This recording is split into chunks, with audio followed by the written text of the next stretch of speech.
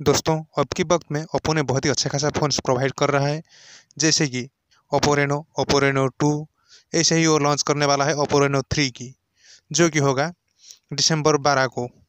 तो इसमें जो खास फीचर्स है, उसमें से है इसका फाइव जी फ़ोन होगा और ये बहुत ही थिन जी स्मार्टफ़ोन होगा, जो कि seven point seven M M की होगा। और ये सबसे थिन जी स्मार्टफ़ोन होने वाला होने वाला है।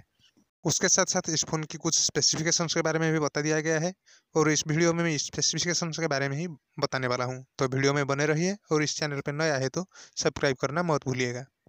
ओप्पो रेनो थ्री प्रो की जो खास स्पेसिफिकेशन है, वो है dynamic AMOLED display book charge four point O support उसके साथ साथ सिक्सटी फोर मेगा पिक्सल की रियर कैमरा और पॉपअप सेल्फी कैमरा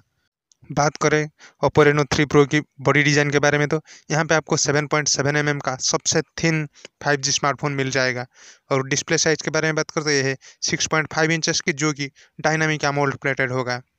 इसका स्क्रीन रेजोल्यूशन होगा ten eighty twenty four hundred जो कि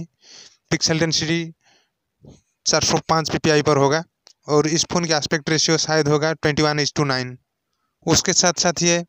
कॉर्निंग गोरिल्ला क्लास सिक्स से प्रोटेक्टेड है और उसके साथ साथ आपको मिलेगा इन डिस्प्ले फिंगरप्रिंट बात करें ओप्पो रेनो थ्री प्रो की परफॉर्मेंस के बारे में तो यहाँ पे आपको मिलेगा क्वालकॉम स्नैपड्रैगन 855 प्लस का चिपसेट और उसके साथ साथ यहाँ पे जो आर्किटेक्चर है 64 बीट की और graphically Adreno six one eight की सपोर्ट और इस फ़ोन की बेस रैम होगा सिक्स जी और internal storage one twenty eight G आप चाहे तो इसे पाँच सौ बारह जी तक एक्सपांड कर सकते हो। अब बात करें इस फ़ोन की कैमरा के बारे में तो बैक साइड पे आपको क्वालिटी और कैमरा का सेटअप मिल जाएगा, जहाँ पे 64 मेगापिक्सल के मेन कैमरा होगा और उसका एपरेचर होगा एफ़ वन पॉइंट सेवन और उसके बाद